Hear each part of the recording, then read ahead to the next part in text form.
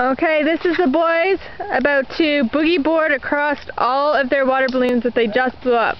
One, two.